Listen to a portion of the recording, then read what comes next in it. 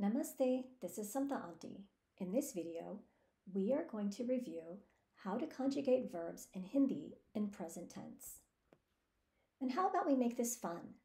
Let's pretend that you are a young Padawan. Padawan is Star Wars talk for student.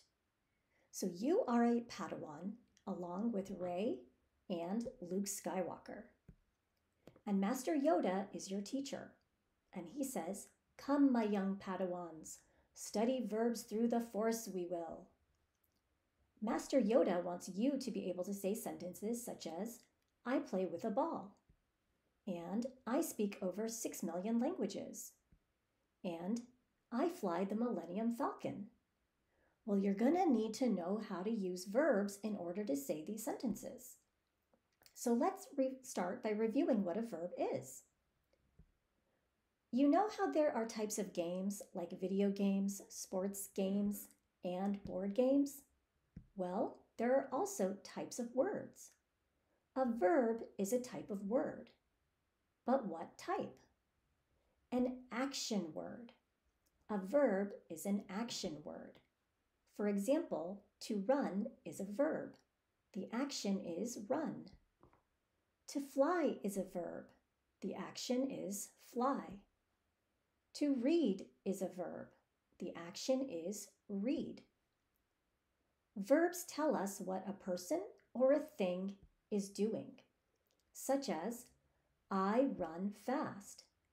What's the action? What's the word that tells us what he's doing? Run. Let's do another one. I fly speeders. Which word tells us what she's doing? Fly. And another one, I read a lot. Which word tells us what he's doing? Read. So those are our verbs run, fly, and read. Now that we understand what verbs are, let's talk about verbs in Hindi. To eat in Hindi is khana. I want you to notice the last two letters in this. Khana ends with a na.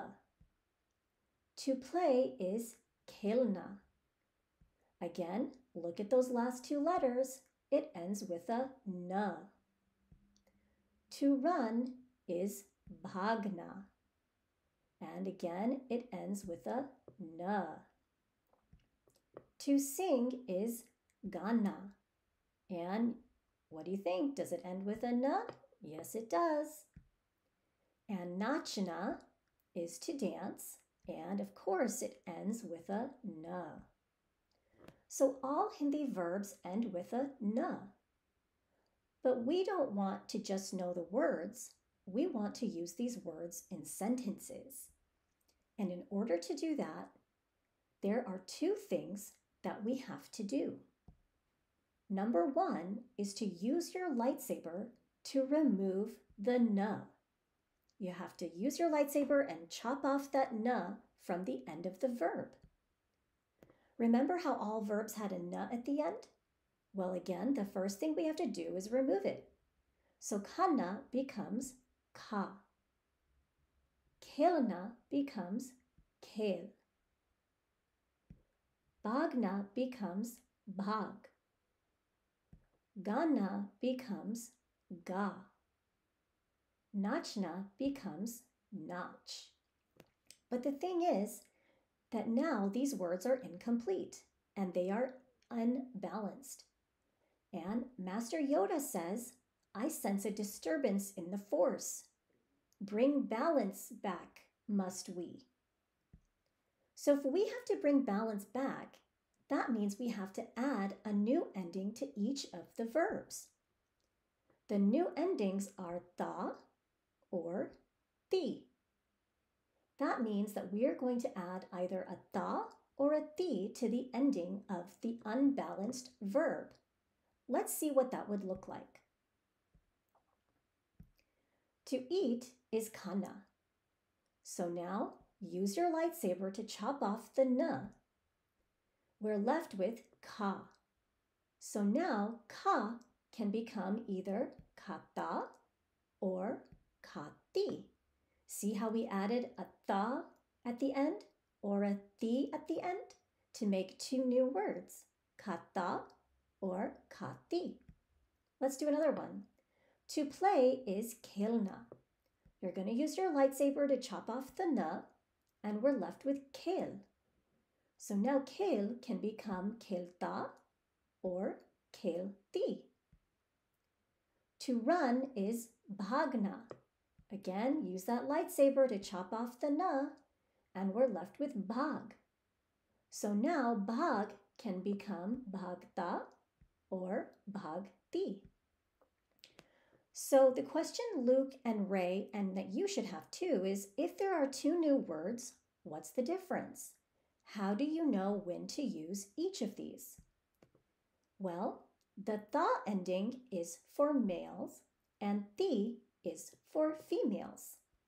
So tha is for males, ti is for females. So if we have the verb kanna, it's going to become kata for the boy and kati for the girl. Let's look at another one.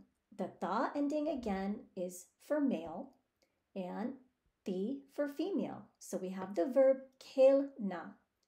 So for the boy, it becomes kelta, and for the girl, it becomes kelti. Now let's do bhagna. So bhagna means to run, and again, the tha ending is for boys, the ti ending is for girls. So it becomes bhagta and bhagti. This process of changing the verb is called conjugation. And this is an important part of learning Hindi and any other language that you learn. Conjugation is in pretty much every language, and it's a really important part to be able to speak a language. And now that you know the first steps of conjugation, you can apply this to any Hindi verb. And there are a lot of verbs in Hindi. That's the beauty of this. By knowing these rules and how to do this, you can take those rules and apply them to any verb. And as you can see on this page, there are a lot of verbs. And remember, you have learned the basics of verb conjugation in present tense. What does present tense mean? It means events happening now, in the present. Or it can mean things that you do currently. For example, I sing Bollywood songs. And I learn karate. Or I eat pizza every week. You aren't necessarily doing those things right now, but these are a part of your life right now. So there are things that are part of your life currently. So now that we've done all of that, let's review everything that we've learned today. So we talked about what a verb is. It's an action word, a word that tells us what someone or something is doing. We learned that in Hindi, verbs end with na, we also learned that to use verbs in sentences, there are two things that we have to do. First, use your lightsaber to remove the na. And we're left with these incomplete words. And we have to bring balance back to the force by giving each word a new ending. And that's the second thing we have to do. We have to conjugate the verb by adding the or the to the end of it. And again, tha is for males and thi is for females. Great work! Now you know the first steps of present tense verb conjugation in Hindi. Keep practicing this. Dhanyavad for joining me. I'll see you in class.